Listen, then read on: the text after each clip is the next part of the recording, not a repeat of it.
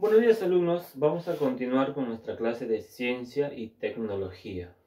Hoy día 14 de abril, nuestro valor justicia y ya estamos en la semana 2.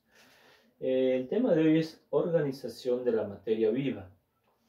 Este tema ya lo hemos hablado anteriormente, eh, para eso voy a hacer un pequeño resumen de lo que hemos hablado.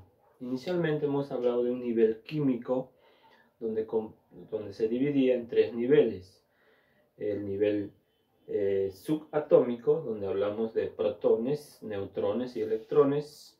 Luego el nivel atómico, donde hablamos del átomo. Después el tercer nivel vendría a ser el nivel eh, molecular, donde hablamos del el conjunto de átomos. En este caso el, el agua sería pues una molécula, ¿no? Ahí tenemos dos, de hidrógeno y uno de oxígeno. Por eso es que el símbolo del agua es el H2O. Luego del nivel químico hablamos en la clase anterior del nivel biológico, que estaba dividido en cinco niveles.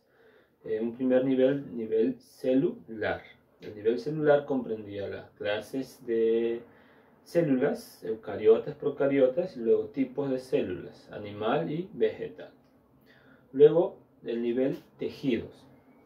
¿Qué hablamos en el nivel tejidos? Un tejido vegetal y tejido animal. Luego el, tercer nivel eh, que hablamos es el nivel órganos. Cuando hablamos de órganos, en cuanto a una planta, vendría a ser una raíz, un tallo, una flor. En cuanto a nosotros, el hombre o los animales, eh, estamos hablando de un corazón, un hígado, un pulmón. Esos son órganos. Luego hablamos del nivel aparatos y sistemas.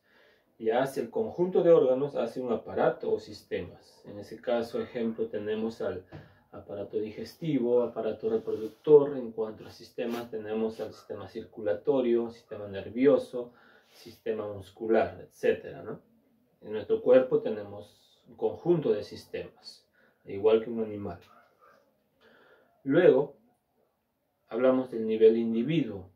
El nivel individuo es un solo ser ya desarrollado que hace, eh, este, que hace el conjunto de sistemas, ya hace un ser desarrollado. En este caso vendría a ser un animal, una planta y el hombre.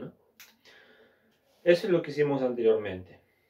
Ahora, para terminar este tema, vamos a entrar al nivel ecológico, donde se divide en cuatro partes en cuatro niveles. Nivel población, nivel comunidad, tenemos el nivel ecosistema y el nivel biosfera.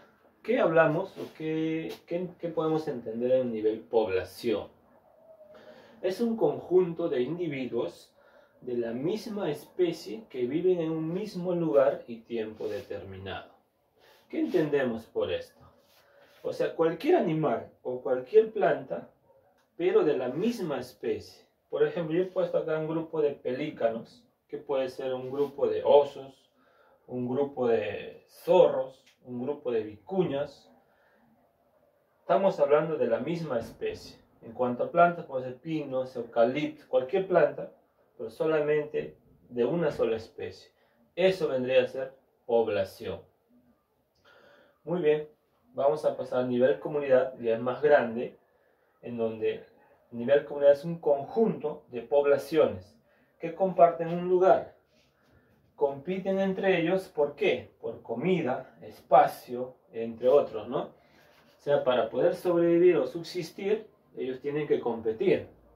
Ejemplo de nivel comunidad, acá tenemos un conjunto o una población de pelícanos, una población de lobos marinos, una población de pingüinos y una población de gaviotas. ¿Qué hace esto? Hace una comunidad, porque todos estos viven en un lugar compitiendo por comida, por espacio, reproduciéndose. Eh, eso es, vendría a ser una comunidad.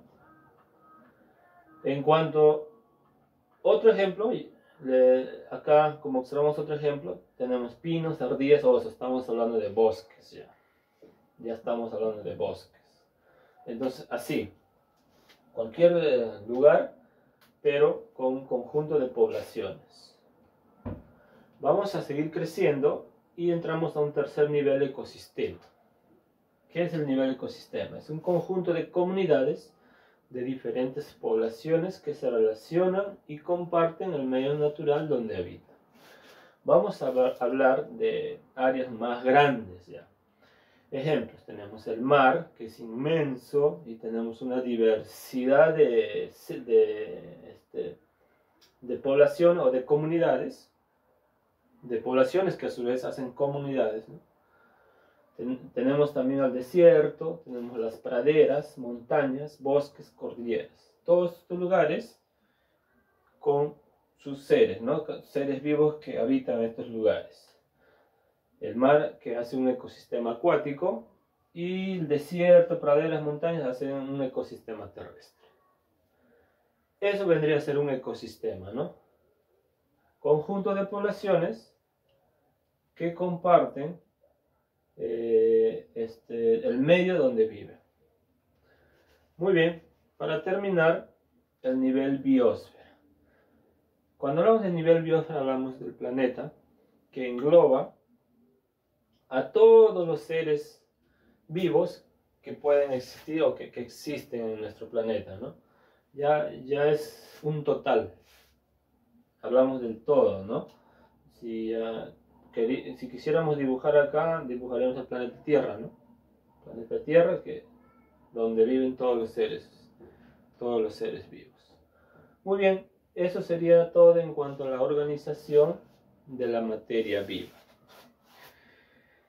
Eh, he dejado un trabajo en sus fichas.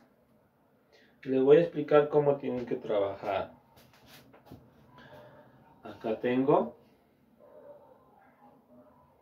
Muy bien. Acá hay un texto para que lean.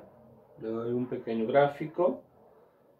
Luego hay un pupiletras para que busquen unas palabras. Y las palabras lo escriben acá, aquí están numeradas, son nueve palabras. Luego de esto eh, están los niveles de organización, ya hemos hablado, eh, voy a hacer un ejemplo. Acá tengo, por ejemplo, nivel químico, acá, nivel químico. Eh, tengo tres niveles, ¿no? Aquí está el nivel subatómico, nivel atómico y nivel molecular. En cuanto al nivel biológico, ya sabemos, la clase pasada hemos hecho, revisan su cuaderno y lo anotan acá, son 5. Y el nivel ecológico hemos hecho hoy día, que son 4. Ahí está. Completan esos niveles y para terminar, lo que han entendido del, sobre el nivel de organización, en este caso estamos hablando del nivel atómico, ¿no? Luego, Aquí estaríamos hablando del nivel celular. Aquí estaríamos hablando del nivel individuo, porque vemos un solo animal, ¿no? Un tiburón, ¿no? Acá estamos hablando de varios animales de la misma especie, que vendría a ser población. Acá hay un ecosistema y para terminar está el nivel biosfera. Ahora, ¿qué es lo que se hace acá? No me vayan a copiar tal cual, por ejemplo, acá dice nivel población. No, voy a mi cuaderno y busco qué es lo que dice, no lo voy a transcribir. La idea no es transcribir. La idea es que tú leas, por ejemplo, nivel población y qué es lo que entiendes, qué es lo que puedes entender y qué puedes aportar tú a eso, a esto, ¿no? Con tus propias palabras. ¿Ya? Eso es lo que quiero que hagas. Con tus propias palabras me llenas estas líneas. No me transcriban. ¿Ya?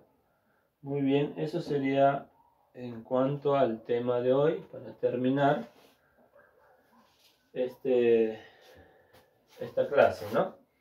Muy bien, alumnos, eso sería todo. Muchas gracias, cuídense mucho.